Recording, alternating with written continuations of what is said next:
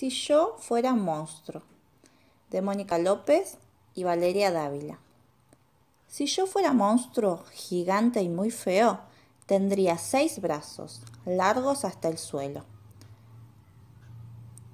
tres pares de patas y alas transparentes, dos colmillos largos y un ojo en la frente, orejas de punta, dedos retorcidos, cuello de jirafa y olor a zorrino. Si yo fuera monstruo, muy horripilante, yo sé que sería un monstruo elegante. Siempre con corbata y frac andaría, y los seis zapatos muy bien lustraría.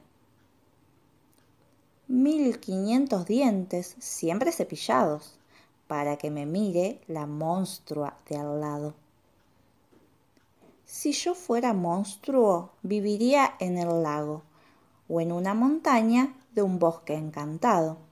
Un monstruito feo, pero con estilo, que luce los dientes grandes y con filo. Pero yo estaría un poquito solito. Ojalá una monstrua me diera un besito. Y entonces, qué lindo, qué bello sería con mi novia monstrua compartir la vida. A cenar afuera yo la llevaría.